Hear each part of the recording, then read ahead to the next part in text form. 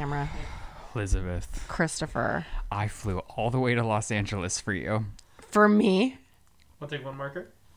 to be treated like dog shit. are you joking? You have been nothing but rude to me Are since you the moment you walked in. I walked out to greet you. With your dick out. No, she's objectifying me. She's I was not at me up objectifying him, and Chris. Did he come out to greet you with his dick out? No. Did he come out to greet you? Yeah. Then his dick was out because he wasn't wearing panties, and you can see the full fucking. You showed thing. up 20 minutes early. It's not my fault. I don't I have told you I panties was on ready- when I'm preparing You- for I the did show. not ask you to come out. I was minding my own business in my car, and you came out to show me your dick. Just enjoy the ring of Saturn. Is that what you call your dick? well, that's what you can see the ring of Saturn? when somebody's not wearing do, underwear. do other people call their penises yes, or is it recently just I you? heard. No, no, no, no. Who like told you that? I was listening to a different radio show, and that's how they referred to it because they were talking about like hiking in LA Yeah. and walking around, seeing everyone's rings of Saturn. Wow. I think I, I don't know if that works. I'm surprised. You're such a prude. I just don't know if it works because an, uh, like the Saturn is a round. no, it's the ring because the mushroom No, top I- of the penis. yeah, I if you're do. circumcised, I know, but that's what I'm saying. it's, It's, not like making sense to you. I mean, mushroom top adds up for me. You know, But like you that don't checks see out. the full mush. It's not like I'm hard walking out to greet you. no, you're, it- No. You, but you don't have to be because you're wearing tissue paper pants, bro. Okay, but that's what I'm saying. So if it was pointed out, then you would see the mushroom because of how the fabric would be going. When it's laying flat Who down, said or- you who only see the outer ring. You only see the outer ring, Chris. Oh my god, Chris, have you ever heard anyone call your dick the ring of Saturn? No, only when you're wearing. I know. Only when you're. I get it. Wow. And to think I had to face my fear of flying, get drunk on the plane, have a headache this morning, and still go through with filming two episodes for you. It's not just for me; it's for Chris No, too. I told you. What kind of working conditions were you pissed about just now? Oh, that the AC was on when it's 95 degrees And you know outside. what? I have to say, it's a little warm in here now. Yeah. Oh, oh my gosh, when she was just about to strike, literally she said, We have power in numbers, Chris. Let's walk out until the air is off.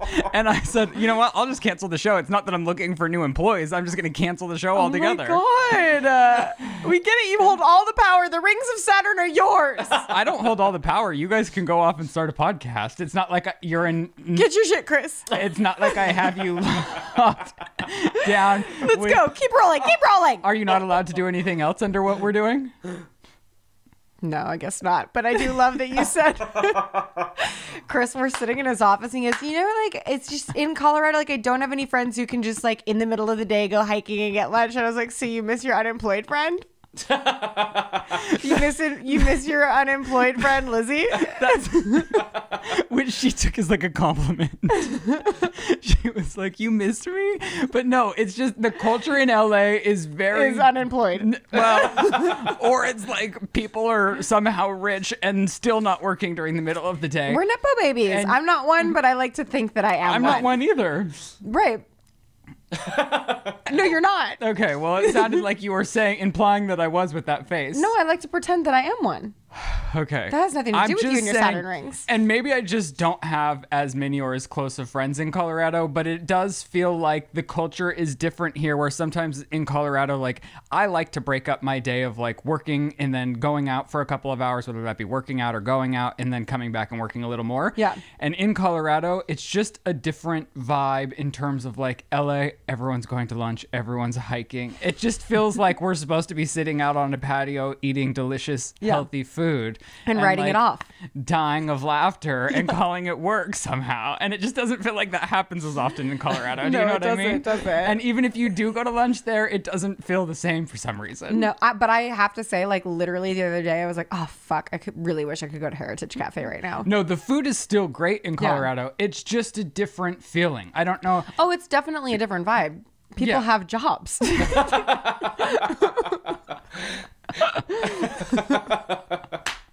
no one comes to LA to work, baby.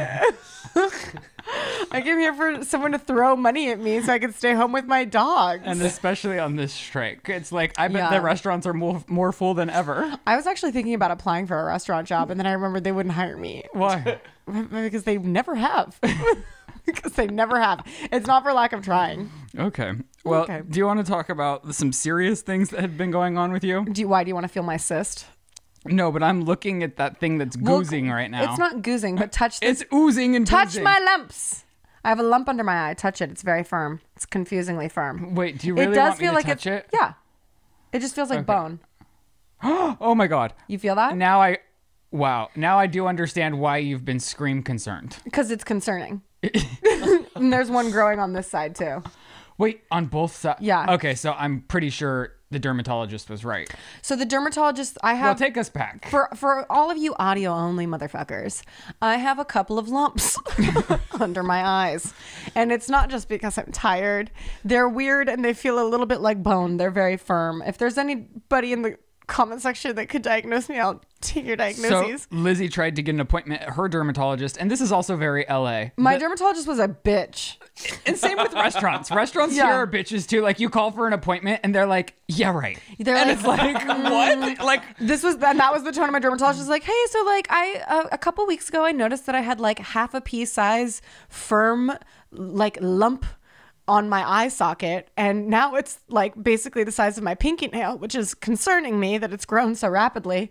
She goes, yeah, we're not going to be able to get you in anytime soon. And I was like, okay, like even for like an emergency situation, like perhaps a growing firm lump under my eye. it's like your standard appointment. You don't. I feel like dermatologists should have like a slot, an emergency slot open a week. And then I know from what dealing with Jelly and Jelly needing emergency Care. care is that there's always a cancellation list. You can put yourself Mm-hmm. on a list where if someone gets can- like cancels their appointment, you can come in to see them. But generally, I feel if you're in charge of scheduling and someone's like, "I have an emergency," and you say, "I have no openings for months and months, but I do have a cancellation list," you should offer up the cancellation list. Yeah. I had to ask. I was like, "Do you have a list? Can I give you my number in case someone cancels because I live nearby or some shit?" And she goes, "Yeah, sure." And then I go, "And you're?" I was like, "All right, dude." And then I go, "Are you sh- absolutely positive that there's no way just for like this sort of emergency situation for me to get in so that this woman can see this lump because I feel like waiting four weeks is probably not a good call." Right. And she goes, Let me ask you something. And I go, Okay. she goes, What's your phone number? I give her my phone number. She goes, We'll see you at the end of the month. I was like, Oh, wow. It's okay. That's like that. So I sent her my dermatologist, who I do really love. There's multiple doctors though, and it Yeah. seems as though you got a different doctor than me. I got, okay. First of all, they got me in the day I called. Mm-hmm. Which is incredible. They were like, just so you know, we're our doctors are booked through December, but it sounds like you've got some weird shit going on. You should get your ass in here. And I said, Thank you for understanding the severity of my lumps. And so they were like, Can you come in today? I was like, Absolutely, I can come in today. It was also, by the way, Friday, which was a rough fucking day. And like side story, Bubs was nauseous, and if and I I've never seen Bubs sick. So I was flipping out about Bubs being sick. So I'm also on the phone trying to get Bubs in to see his vet while I'm trying to get in to see my own vet. And I also thought about asking the vet to just do a biopsy of the lump for me it. because they would have told me right away. like, and I'm still thinking about asking them because I go to your dermatologist and they're fucking lovely. They just had a nurse that could see me. And the first thing the nurse does, he won't even touch me, which was a little bit annoying because it's like, you have to touch this to understand. The man. Yeah. When the woman came in to touch me, Yeah. she had to pull in a backup woman. I had a backup woman with my man. I understand, but it is it does feel a little like, Yeah. come on, we're not gonna do butt stuff here. Right. Well, you were doing butt stuff. I was just trying to get my eye lump touched, and he kept being like, "That's your eye socket," and I was like, "No, dude. Like, I've had these eye sockets for 33 years, and this is new." And he's like, he pulls up a picture of an eye socket online. I was like, bro, this is like on, like honestly, like I know I must come off some type of way for you to feel the need to show me what an eye socket looks like. But if you could just take your fucking hands and put them on my face and touch my lump, you would understand what the fuck my concern is. And so finally, he puts a finger on my face and he goes, "Oh." oh, that is weird. And I was like, yeah, dude, super weird, right? Like, what the fuck is that? He's like, I don't know, man. I'm going to go pull one of the doctors out of their meetings and have them come in here and look at it because I can't tell you. He's like, I don't think it's like uh, skin level cyst because skin level cysts apparently have some sort of calling card visually that I don't remember what he said and it didn't make sense to me. So, whatever, it's not that. And then he goes, I see on your uh, record you have a history of melanoma. Can I see it? And so I show them my scar from where I had the malignant melanoma cut out, and they did an inch around and down. So, like, if I didn't have an open wound right now, I would let you could poke into my wound. Um, and then he goes, Oh, that doesn't look right. And I was like, What do you mean it doesn't look right? He's like, The pigmentation on your scar does not look right to me. And I was like, I mean, a few other dermatologists have seen it and have never expressed Could concern. have it been botched just because I know like not every scar heals the same. Right. So it's the and it, mine was botched because I had an allergic reaction to the stitches and to the neosporin oh, and to the band-aids because I'm a fucking ginger. So it was botched, but the fact that I have a scar that had a massive amount of pigmentation grow and stretch upon it mm-hmm. made him uncomfortable. And I was like, "All right, dude. Like, Is this the doctor now or still the nurse? so this is still the nurse. The doctor comes in. He goes, "I don't know what the fuck to tell you about those eye lumps. It seems like it's a, like not a dermatological issue, so I cannot help you. But I suggest you get an MRI." So now I have to wait for my insurance to kick in to go get an MRI, which I are, I had gotten insurance like the day before, so that's not. It's whatever. And then he goes, Let me see that arm. And he's like, Yeah, I don't like that at all. And so the fact that he doesn't like it makes me super stressed out because it's like, Well, that shit's been running rampant for 11 years, bro. like, hmm. and not a single other person has had a problem with it. Well, I'm just gonna hope that he's being extra cautious. Oh, yeah. Whereas like, I've if, cut pimples out of my arms. You know what I mean? I've had dermatologists cut pimples out and biopsy them after they tell me to my face they're a pimple. I'm like, Right, let's still cut it out and bi- like, let's send that to the lab, guys. So my, my motto is when in doubt, cut it out. So we cut it out. right. Yeah. Well, and oh, it's a grueling process to wait for those results. Sometimes they take two weeks for like dermatologist labs. Yeah. And he did suggest that this might have been from your His- Botox or your filler, which now that you're telling me they're on both sides, I'm kind of like, But I never put I never put filler in my fucking eye right not, here. but your nose, it would just travel down a little bit. Uh, no, I never put it in my nose. Oh, I don't know how this works. I put it like here, you know, and I it mean, and but- it was and it wasn't even this much. It is very concerning to have a bump under your eye. Yeah, it's weird as fuck. because like I had even after like Chloe had the uh the cancer on her face, I got a mosquito bite there, but Yeah. it was just really firm hard a firm hard lump that was like growing Mm. and I picked it and then it scarred and it stayed there for like 2 months like the Yeah. So I was convinced but it finally went away and then I had a lump on my eye too, but it's just like when you have things on your Yeah. face especially And it's this is so like unsettling. hard as bone. and they're equally on both sides. They're not equal. So one's here and one's here, and this one's new and growing. And so you have to get into the doctor to get an MRI, but your Yeah. insurance hasn't kicked in just And yet. so yeah, and because it's Kaiser, I have to see a general practitioner first, and then they're gonna send me to an MRI. And then all of this has also stunted our baby planning. So because I you can't get an MRI if you're pregnant, so now we just have to pump the brakes on all that until I get that done. Right, because Yeah. I mean, God forbid something were wrong. You also don't want to be like pregnant and stressed if you Yeah. have to deal with Yeah. something larger, which I don't think it will be. I mean, I hope it's filler. scenario. I hope it's filler gone bad. But I don't think it is because that was like three years ago and it died. Like filler, like leaves within two years. Mm. So I just I have a hard time believing that it's like for two years the filler's fine and then on day, you know, right. six hundred and ninety five, it's like no, let's act out. Um, do you know who Maria Menounos is? No, Oh, well, she's been a TV host forever, and she's Oh, is her a- husband a named. Kevin? Yeah. Why do you know? I know them, but I didn't realize. I mean, I know I I'm I have a friend that knows him, so I've been in the room with him a few times and like had like conversations, but I didn't know who he was. Okay. Well, anyways, they struggled with infertility for Yeah. a very long time. They uh, got uh, pregnant with via surrogate, Mm-hmm. like with an, an embryo of his and hers. And while their surrogate was pregnant, she found out she had a brain tumor. Mm. And so while she was doing that, she's like, it took me 10 years to like get pregnant Mm-hmm. with a child, even it's a surrogate. And then she found out she had a, a brain tumor while this is all like her dreams are coming true. And something, so I was watching because now her baby is born. Uh, the brain is taken care of. And i was she get filled in on like live with now kelly and mark because mm-hmm. her husband's now the co-host but kelly was absent and they were just talking about how she coped and she was like well i went to a lot of different therapists and a lot of different people and something that stuck with me was choosing wonder over worry. So mm-hmm. instead of worrying about what's going to happen it's like well i wonder what it's going to be like when the doctor calls and gives me the good news. I Right. wonder wonder what it's going to be like when I find out I'm pregnant, mm-hmm. you know?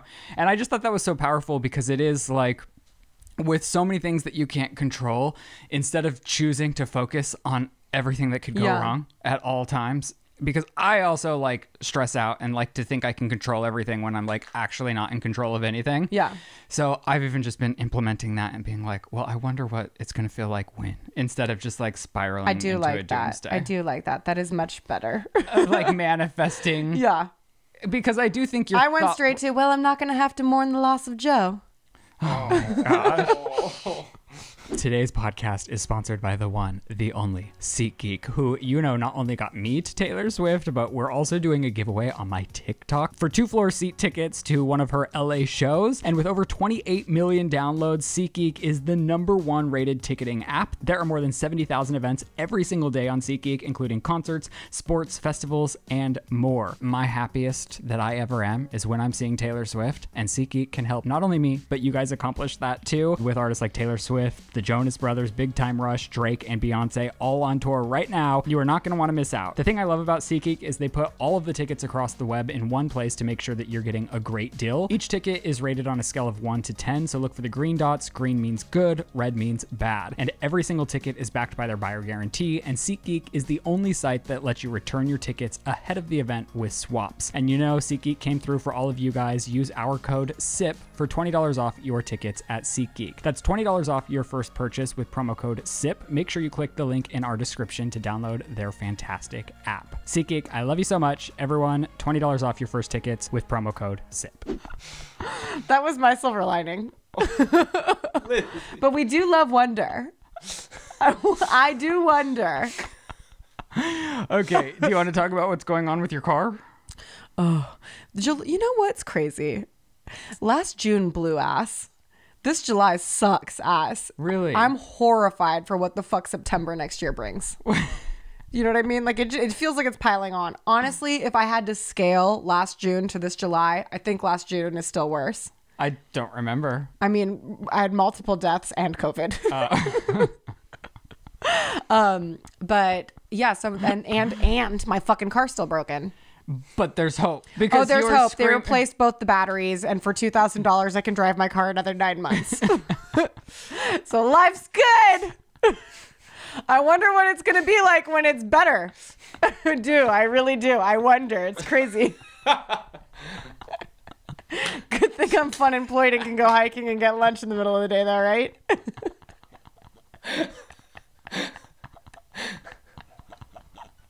It's fine. People hate when we throaty laugh. They think it's fake, but it's like you can't fake that weird throaty laugh. Ooh, okay. Um, so do we want to talk about bar- what is what's the fucking term Barbenheimer? Barbieheimer? Mm-hmm. Bar- Oppenarby? Wait, okay. Just kidding. Oppenbar- Barbenheimer. I didn't see Oppenheimer. I didn't even watch the trailer. The visuals of the poster looked boring enough for me to not even click on the trailer. Oh my God. So I was out without even knowing what You're the premise of the movie happens to be. Yeah. Do you know that we dropped two atom bombs in Japan during World War II? Yeah. Okay, so it's about the guy that built those bombs. Oh, okay. Yeah, and it's about the um it's kind of about the cost of war or or as he continually tries to frame it for himself, the cost of peace. And the idea uh it's I mean, I don't want to spoil it. Okay. It was it was intense as fuck. I will be going to see it again. That's wild. I loved it. I think it was fucking awesome. Because isn't it like three hours? Yeah, it doesn't feel like it though. It's very fast. Wow. It's like a sprint and then it's like a Well, Barbie, on the other hand, was two hours, and I felt like couldn't have been longer. Oh, really?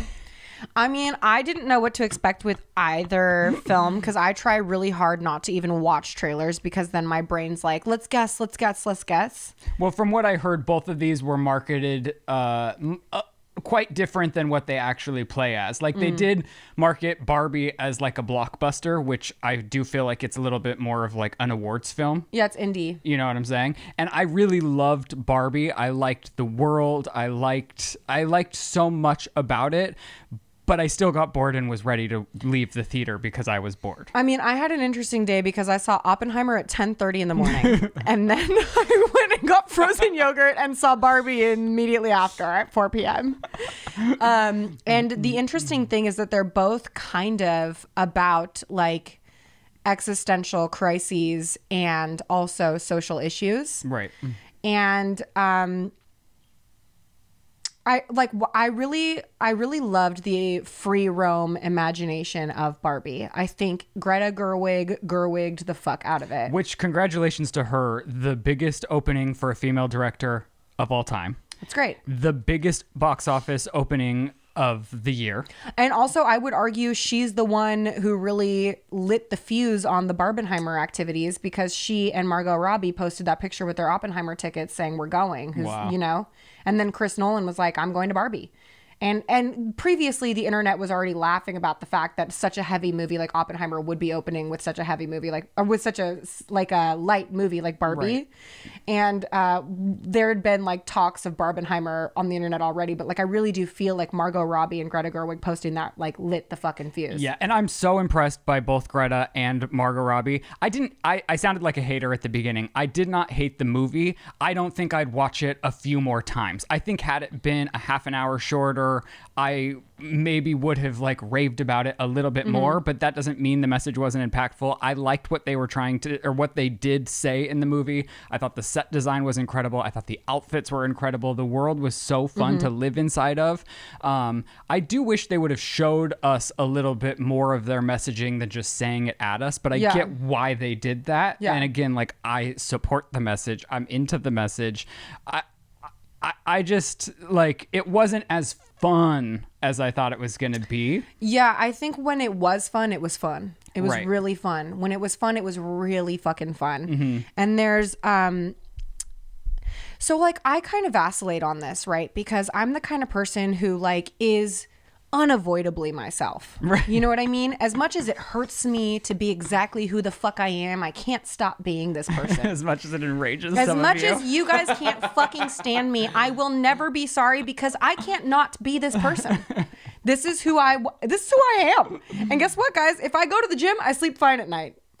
So I I feel like I wish in my heart that everybody had that. I wish in my heart that everybody had the audacity to just fucking be themselves without the need for the validation of other people approving of it for it to be okay. You don't need anybody to tell you you're you and that's fine for it to be fine. That's an internal thing that you got to find. right. And so I was, um, my walk away from Barbie is I, to some degree, felt a bit patronized. But then I realized like that's a very, subs- that's a subjective experience for me, right? Right. Because not everybody has walked through life with their, you know, horse blinder tenacity blind like on. And uh, it might be important for some people to hear you are enough you know? And it might be important for some people to hear, like, you don't have to want to change the world to be okay. So I do get why it's an important message for a lot of people. And at the same time, I'm like frustrated by people not knowing that they're okay. Like, you- it's okay to be you. Right. So th- that's my like that's my own experience with it. But I am grateful that it was packaged in such a way because you know Barbie is so polarizing. I wasn't allowed to play with Barbies as a little Really? girl. Yeah.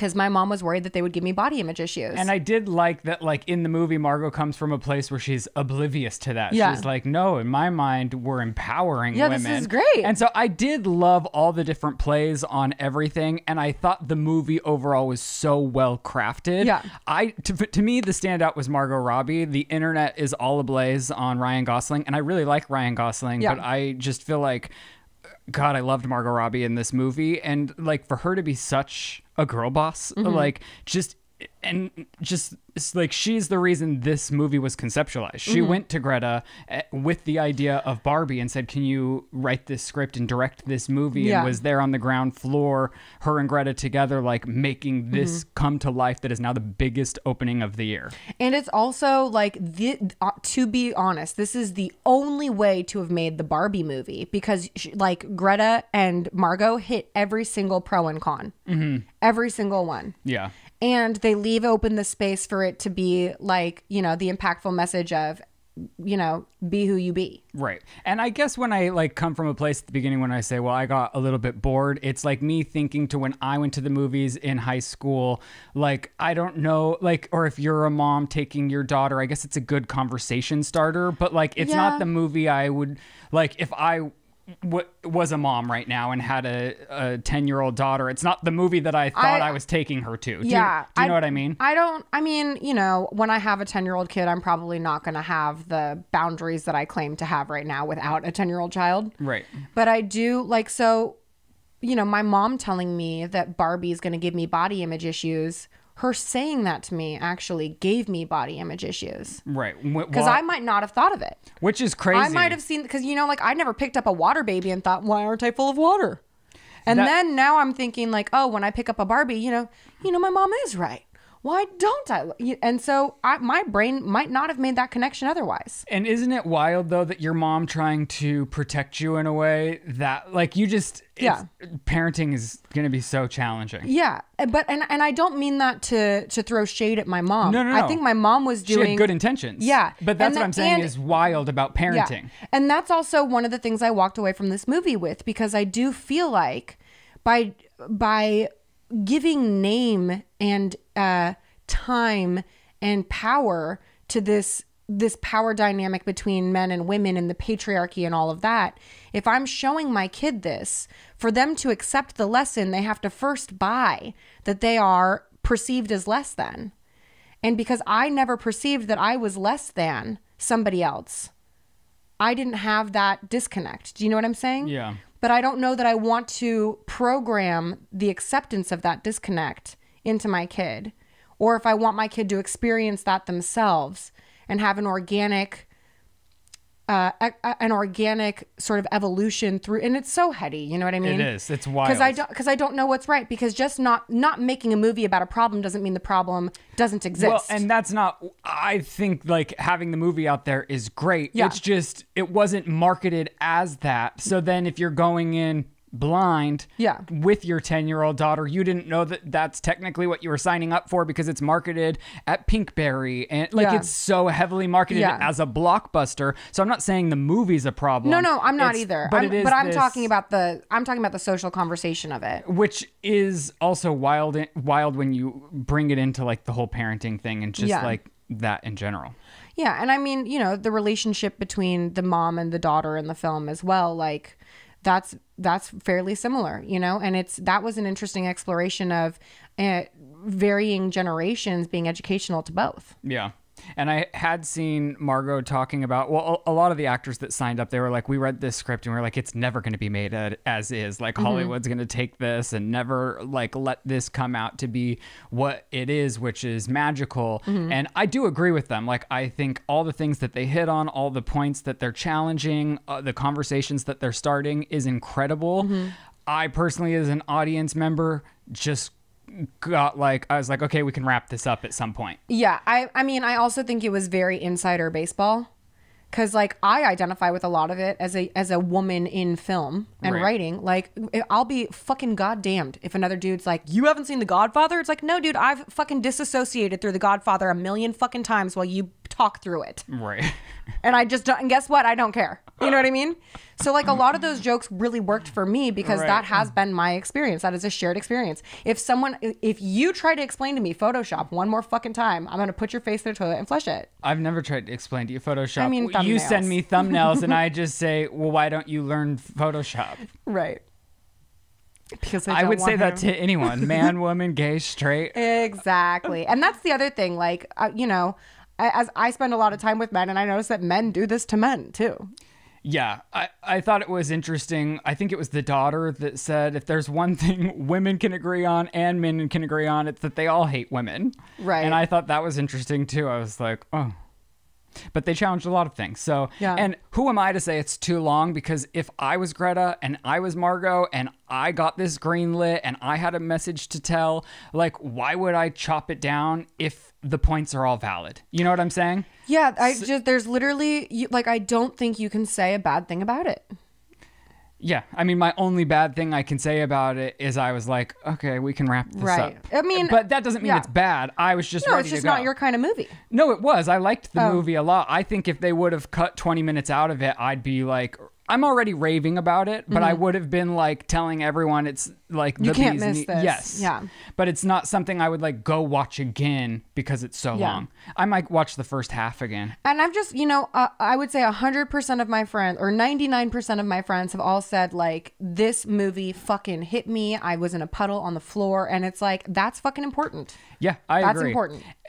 It's just impressive what they were able to accomplish. Yeah, it's empowering as fuck. Yeah. It's empowering as fuck. The wor- making that world play yeah. Is like something to cheer about Yeah. to begin with. And and my I would say my favorite thing about it is like because it, it- like in these meetings everyone's like validate this, justify that. Make make me understand why you made this choice. And it's like are you asking everyone to make you understand why you made this choice or are you just asking me that because of your own biases? Right. So when in the movie when they're talking about like this the travel from what X to Z place or whatever. I don't want to give any spoilers, Right. but it's it's an absurd visual travel that makes no sense. And that Margot, I think Margot Robbie, Mar- Margot Robbie's character is just like, yeah, isn't that crazy? and I love that so much because it just for me like enforces this thing of like, no is a complete answer. You don't need an excuse. Yeah. Yeah, isn't that crazy? That was the choice I made. Isn't that crazy? Okay. you know what I mean? Like it's full stop Yeah. empowerment. And I love that. I love full stop empowerment. Okay. Well, did you celebrate your ninth anniversary? no, we fucked that up. Are you kidding I mean, me? honestly- After I got in a whole fight with you? Are you kidding me? well, did you celebrate Shane's birthday the way I planned it? No, but I really went all out. What did you do? Well, we had a full blown day. Like I had, I, it was an experience from the moment he woke up. What was the experience? Well, he woke up. We love Dutch Brothers Coffee, but they they're not on any of the delivery apps, so you do have to go sit through their line, which Mm-hmm. is like so long. Always, it's always a twenty minute experience to get through that line. Yeah. And so before he woke up, I went through. I got his coffee, but he hates the coffee after it's sat for an hour. So I brought another cup and dumped all the ice out so that it would stay fresh. I froze the ice. So when he woke up, I handed him his fresh Dutch Brothers coffee, and then he had his whole like gift experience, Cute. which I had the cutest wrapping paper made of his face. I saw that. I loved that. And then it was like pool themed because he's been having so much. Well, we don't have a pool in Colorado, but he just. Well, and that was my idea because they don't have a pool in Colorado. I sourced Amazon links so that he could put a pool in the truck bed of Brittany. and that's a great idea, but he likes his pool like a hot tub.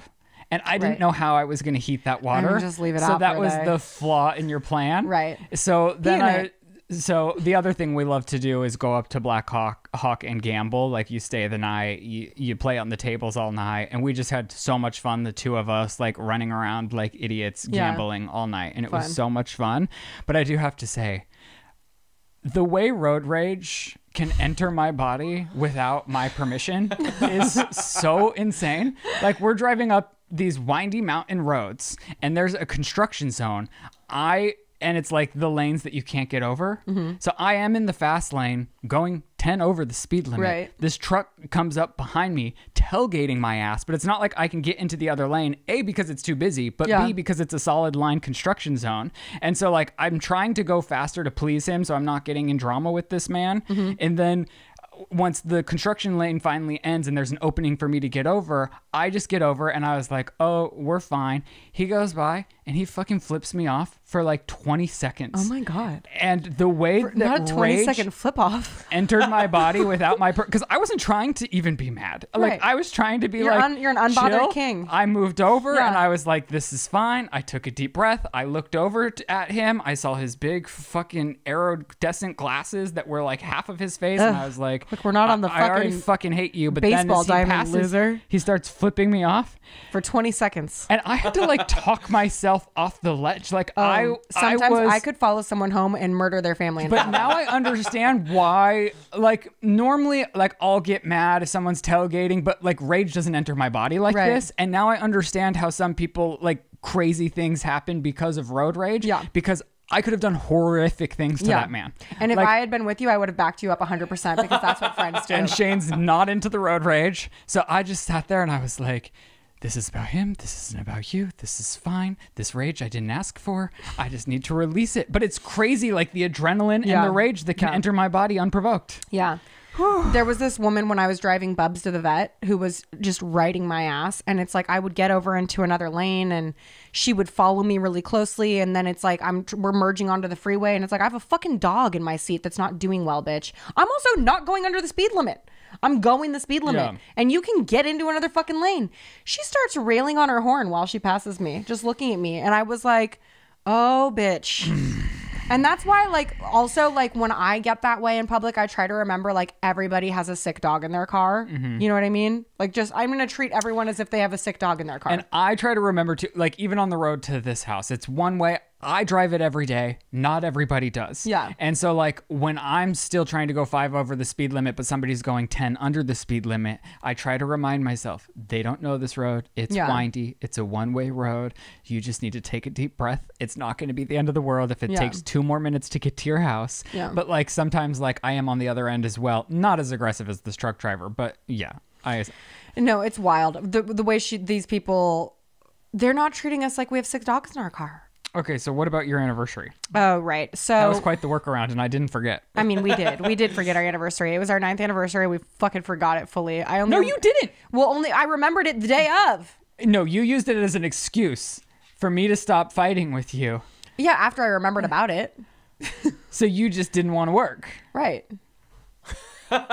Um, Lizze filmed one video in Colorado that was filmed between two podcasts that we filmed a total of 40 minutes. And I've now turned it into three vlogs. She's now, because she doesn't want to finish editing the Shut vlog. up. No, that's not why. It's because it works out nicely in three uh, chapters. I was watching. Okay, I will admit it's hilarious. I watched you. it on the plane last night, and I'm glad you didn't tell me. Part me. two's live now.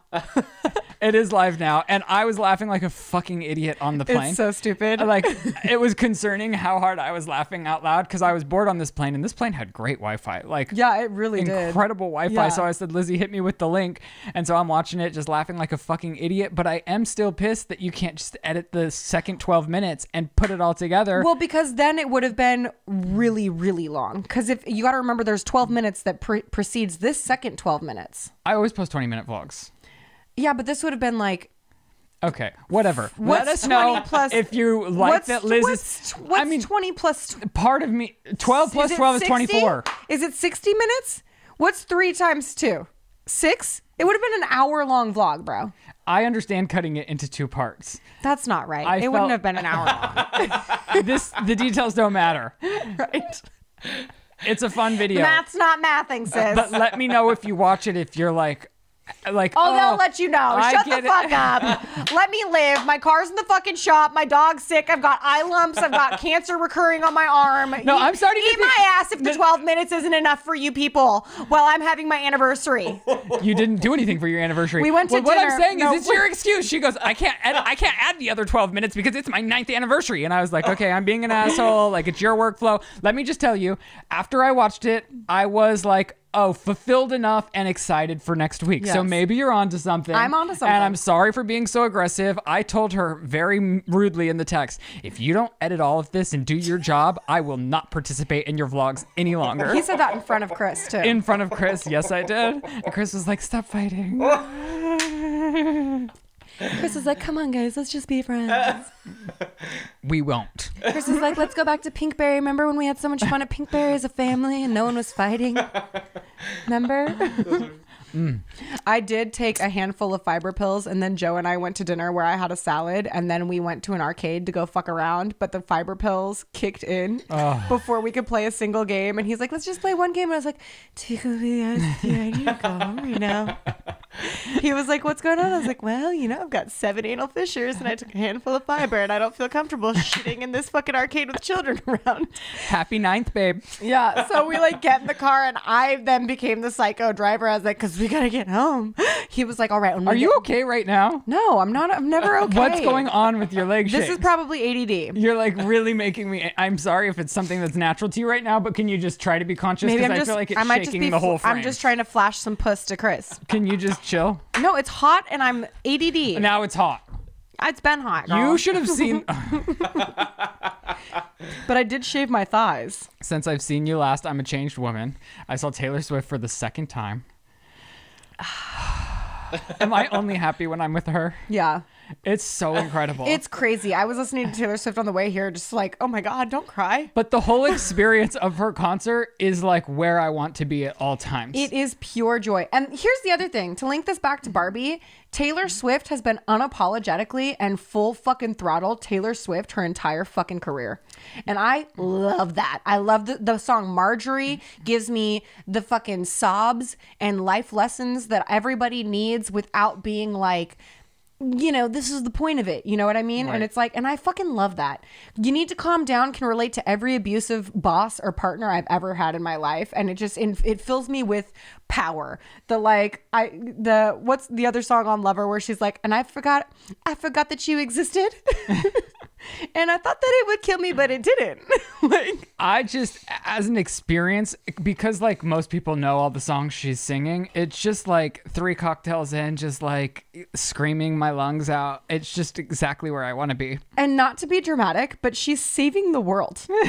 she's saving the world's economy. I'm not even kidding. No, I've seen She's these articles She's literally everywhere. saving the world's economy. And I feel it. Both places that w- when we went to Vegas to see her, the town was a buzz. Like Yeah. the energy that shifts when this woman is in your city is wild. All the news Yeah. channels are talking about it. Everywhere you go, people are talking about it. All the local places are playing her music. Yeah. It's like this energy, and that's what I kept telling Shane. I was like, you like get closer to the stadium, and it's like an energy that you can't create. It's palpable. like what this woman has created is like mind it's blowingly incredible. It's a she is a goddess. Yeah, even in when I was there at the second night in Denver, and she was like, "I do have to say, I'm the only artist to ever sell out the stadium two nights in a row," and I'm just like, "You fucking go, girl! Get it, bitch. You do this shit." Um, did you see when um the stage, you know how she's supposed to like go under the stage or whatever? The trap door didn't open one night, so she had to just sprint all the way across the stage.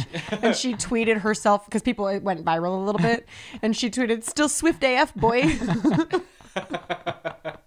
Uh, but you're right. Like there is, like you can tell, like this little girl's family was trying to hoodwink and like they wanted to surprise her with the tickets, so they didn't tell her until the day of. But they took her to where the concert was, and they're just filming her, and she's looking around. She's like, "I think Taylor Swift is playing here tonight." And they're like, "Why do you think that?" She's like, "Well, look at all the, these girls are in glitter. Like those, those these girls are in glitter. Like I think Taylor Swift is playing here tonight." And she's like, she thought she was in this town to go to an aquarium. Mm-hmm. And then later that night, they're like, "Well, we're not really going to an aquarium." She's like, "Oh." She's like, we're going to Taylor Swift. She's like, we're gonna go stand outside the auditorium, and she was so excited. And they're like, no, we get we got real tickets, baby. You're going in. And she's like, I'm going. in." I love all those t- all those like you know surprise you're going in things. Right. I've only seen one that rubbed me the wrong way. It was a girl, a little girl whose family was like, she already knew she had tickets, and then their surprise was they were floor seats. Right. But it's like I don't know, that didn't hit as hit as hard for me. Um, well, SeatGeek not only uh, sponsored this podcast today, Oh, but they partnered with me on uh, TikTok, which, yes, I came back to TikTok for Yes. SeatGeek, and we're giving away two floor tickets to one of her Los Angeles shows. so you just have to go over to my TikTok, you tag somebody that you want to go with, and you follow SeatGeek on TikTok. Listen, SeatGeek, I'm right here. Are you fucking kidding me? So just have saying- you not heard the week I've had? Okay, hold on, hold on. It's Wednesday now. Uh, this ends on my TikTok, I think, in the next few days. So if you want to get into this, go over there and get in on it on my uh, TikTok account. SeatGeek chooses the winner. I'm going to pin the winner in the comment section. Can I call SeatGeek? Yes, you Can, I tell them the week I've had? I still have hope for us. See, but here's the other thing. Right now, in the condition that my car's in, my tickets are selling for five thousand dollars a piece. Do you know how hard it is to not sell those tickets because of how much that money would change my life right now? A And I'm hold a piece, Wow. and I got them for like fifteen hundred each.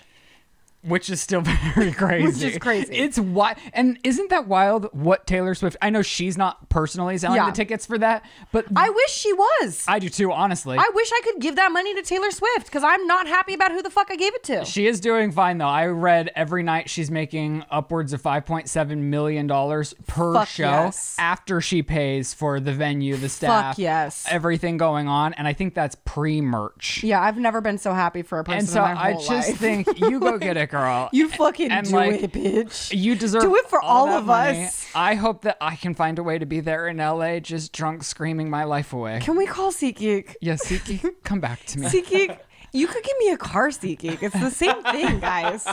It's the same thing. I know it might look like I'm a privileged, unemployed Nepo baby in Los Angeles, but like, I'm only a little privileged. It's just a little bit of privilege. Okay, well, I did take you once. No, I'm not even talking about you. I'm talking to SeatGeek, Siki got me there with Stacy, my brother's wife. who really deserved it. who really deserved it. Yeah. We had so much fun, and I'm hoping they'll come through for the LA show too for me. Listen, I'm just asking for a car seat, geek. It's not that much.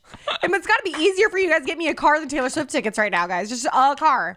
And it's like, it can be used. I'll take a car with 15,000 miles on it. Oh my gosh. Okay, well, we talked for 43 minutes about our lives. Um, let's see if we want to. Oh, well, I have some like. Do we want to do hot topics or I can save these more like For the car. for the car? Yeah, okay, let's get into some hot topics. So, you put in here the selling sunset ladies don't own their clothes. No, they don't. And so I guess Bre had an interview with people and she said there's no budget.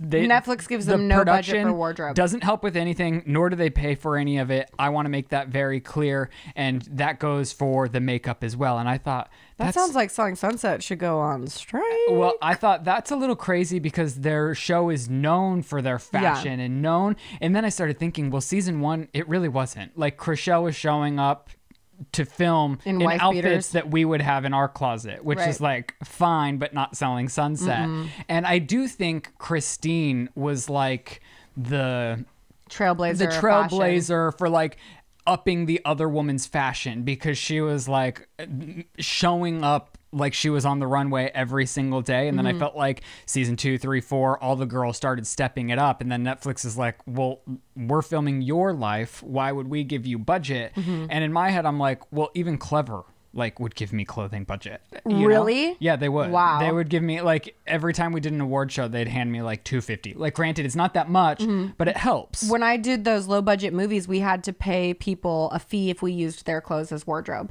wow Because you have to pay for it to be cleaned, or if it's destroyed, like you have to pay for it.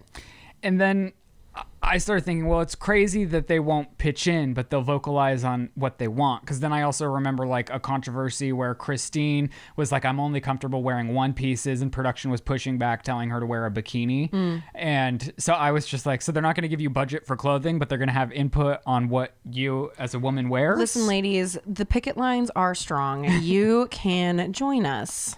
Get some good networking done. Just kidding. I saw one of my favorite things is there's this casting director that has just been uh, uses her platform online to inform actors like how to be chill or whatever. And one of her things that she posts is remember the picket lines are not networking opportunities. And I was like, says you, Erica. The fuck?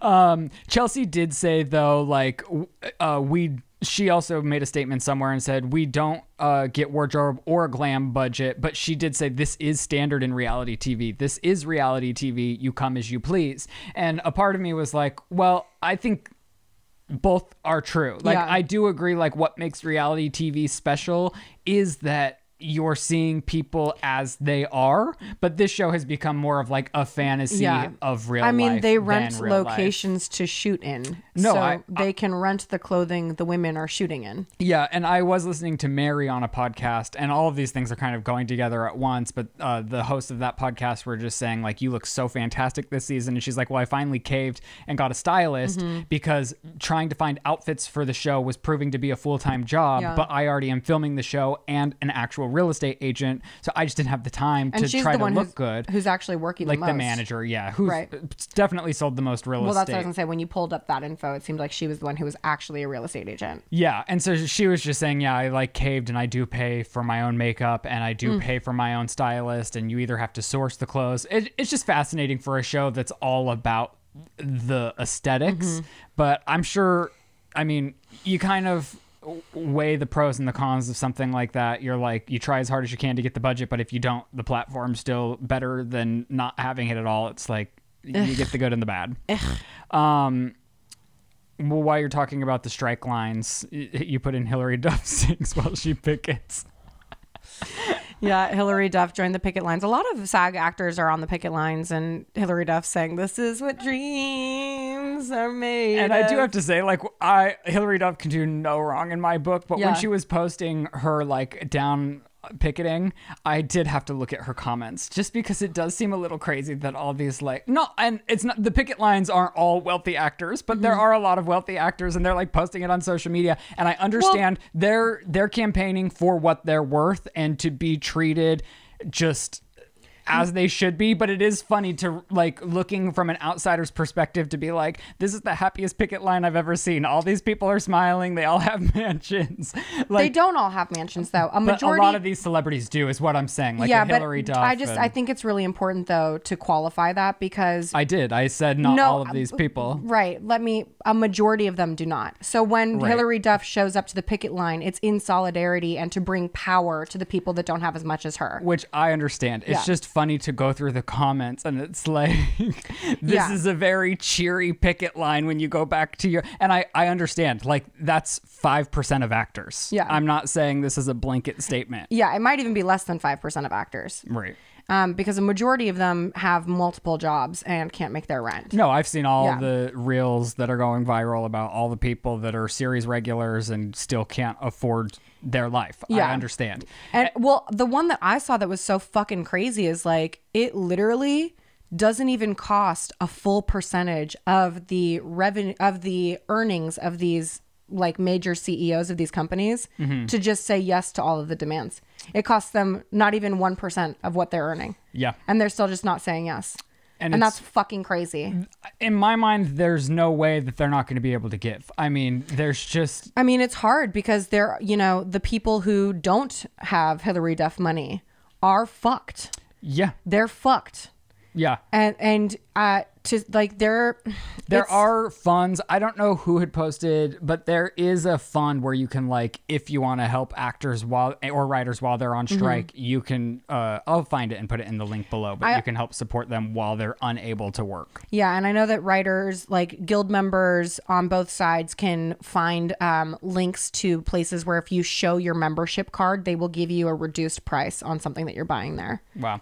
I did see too though like A24 has uh some films in production and stuff and that's because they aren't part of the studio system and they are uh, meeting the demands of the actors. Yes. So SAG is allowing that. Yeah. So I do think that's very empowered like empowering Yeah. to be able to find those kinds of productions and those kinds of jobs while still making your statement towards these big studios. yeah i will be interested to see how that plays out because i do know that sometimes like production companies like A24 do partner with studios for distribution. Right. But I do also know that it is completely possible for you to get a theatrical release of your film without including a studio whatsoever. So I my hope is that they don't end up selling to the AMPTP and they do do a full independent release. And even if they did, the people, I mean, it still goes against kind of what everyone's striking for, but the talent, if they have back end, would still get their back end or what they've agreed to up front. with their contracts. correct? Yeah, but for like I'm just saying like to fully stick it to the man, you give them no grapes. Yeah, and I was, I couldn't, when I first saw that, I was like, I can't even believe that's allowed, quite I- honestly. I- but I think it's good because you shouldn't penalize the people who are actually making art and not doing and the- ready to play. Yeah. And ready to give people their fair shot of Yeah. what they're bringing to the table. Yeah, I think as long as it's not like as long as there's no nexus to the AMPTP and as long as your shit is fully independent and you're ad, uh, you're adhering to all of the demands of SAG and the, and I would also like to include the WGA in it because it uh, like if you can work morally and ethically, why not get to work morally Yeah. and ethically? No, I agree. You know, th- like employ the crews, employ the hair and makeup women. Well, yeah, and that's And the other like- thing is th- those like the other parts of crews are also like very impacted right now, and Yeah. they need to work. They're Well, they make even less. I know, and that's what I'm saying. And Yeah. like they stay pretty booked when they're working because they are in demand. But when everything's shut down like this, they're not going to be able to make their house payments. and and that's the other thing like when i think about like my my friends who are in hair and makeup or my friends who are in props or my friends who are grips like a lot of times like my grips my grip friends will go from a 12 hour gig to a 12 hour gig Yeah. and sometimes there is like only an hour for them to like i have a friend who will do a day job that shoots you know you know 6 a.m to 6 p.m and then he makes his way to another set to do a night shoot wow. And that's fucking crazy. And I think that he's only making probably like 600 a day and a majority of that goes out to taxes. So it and like legally those days are 12-hour days.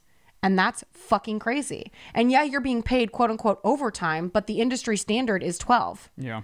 And if you're not going your full 12, you're ending under and you're not getting the worth out of your dollar or what you've budgeted for. But it's like, no, it really should be a 10 hour day. Yeah. And then they take away your lunch. Your lunch doesn't count. You're not paid for your lunch. So no matter what, it's, it's it's an 11 hour day. like, Right. and that's fucking wild.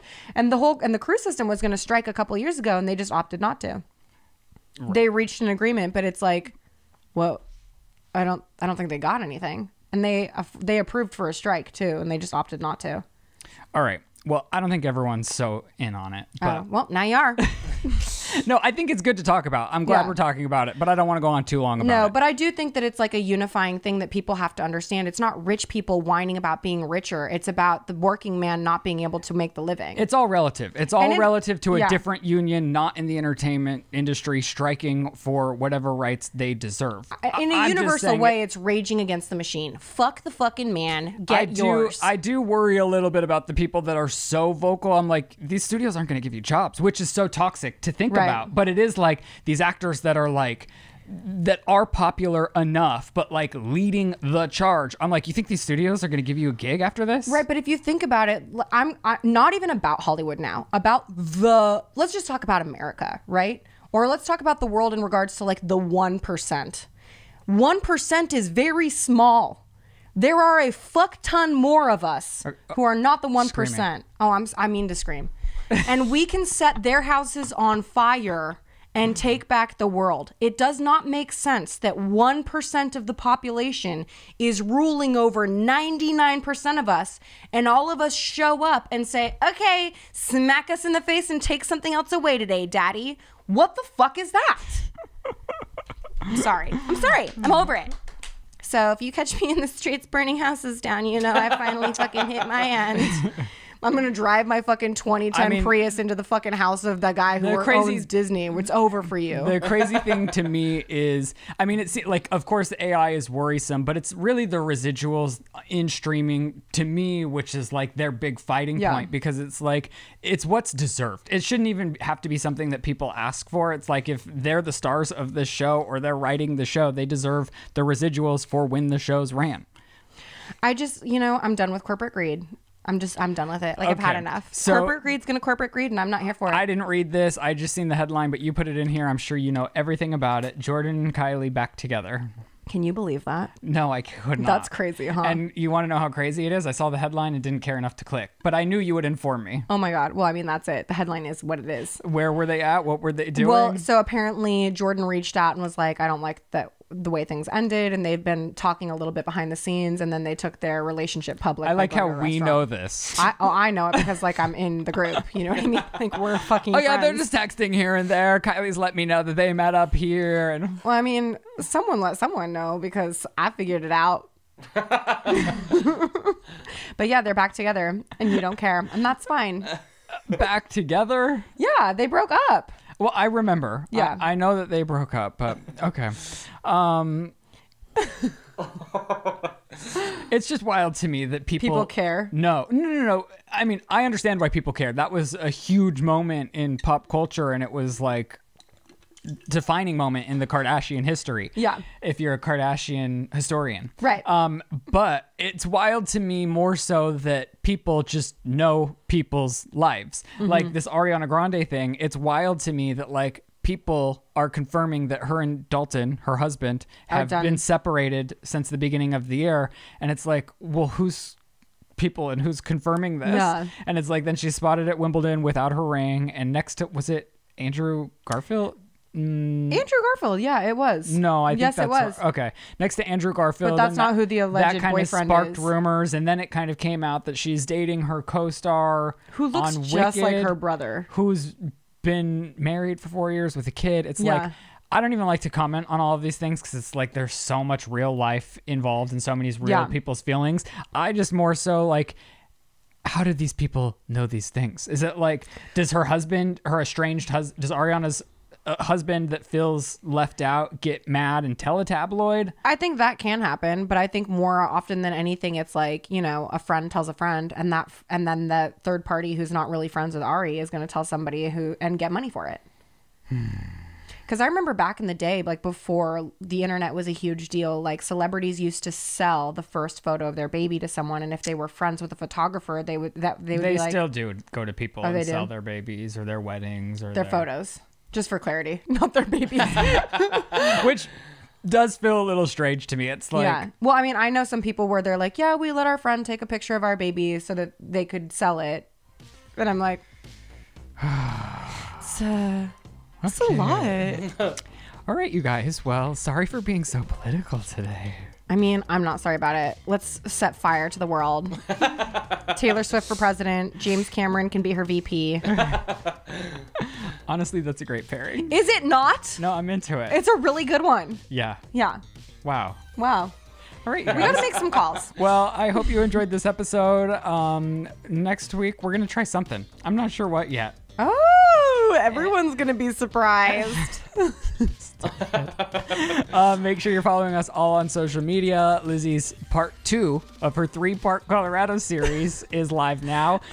Chris is one day gonna post a second YouTube video. Yes, one day. and I'll have his channel linked below. We hope you have the most fantastic day. We'll see you next week. Goodbye. And, that's, the sip.